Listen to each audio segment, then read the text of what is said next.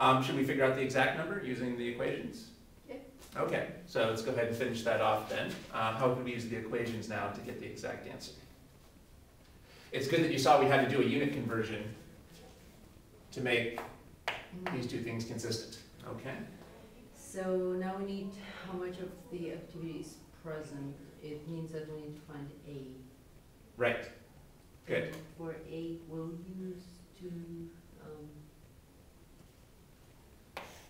one of our AO, I mean, A to the sub-zero, and E to the negative KT.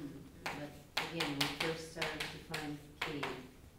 that's right. You can go from here and use a similar equation. So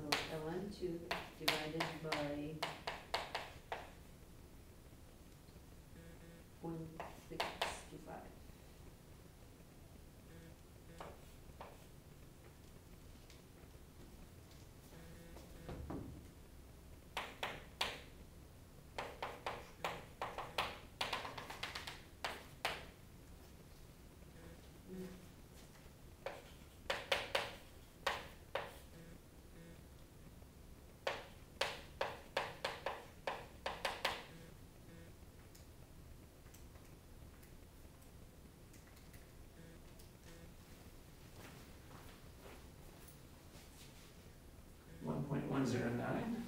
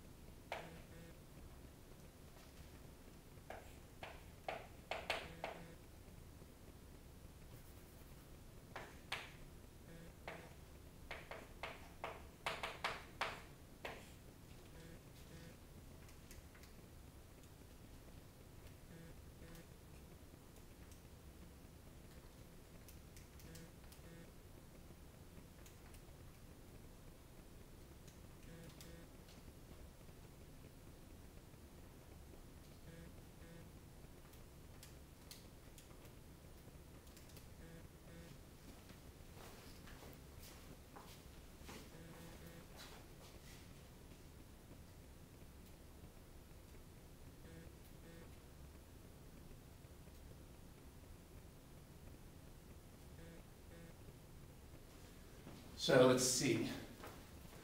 You're using this equation. And what did you plug in for t? Oh no, it's a 4D. It's, so easy to confuse t one half with t. Yeah. You already used t one half to find k, right? You already used t one half to find k, but t stands for the actual amount of time yeah. that has passed, which would be 4. So here we should be putting in 4, not the uh, 0.625.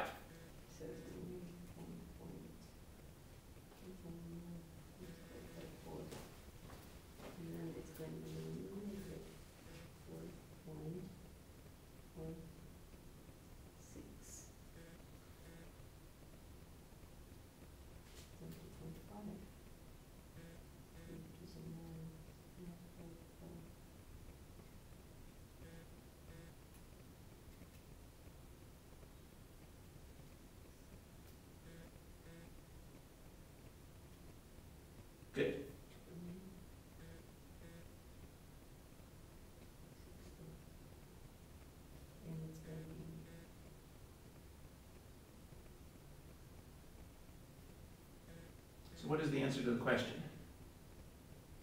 so this one is, the remaining.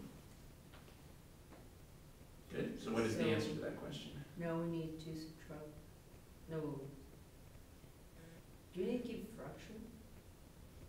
Hmm. Let's see, you tell me. Is the question asking for a fraction or just, How much No, it's asking present, so this is the answer, because. good, so what is the answer? Two point nine six zero, I mean six one. Decays per second. Except I think you missed off on the end here, the E. Oh, E. That makes a huge difference. So, Two point nine six times ten to the seventh yeah, decays.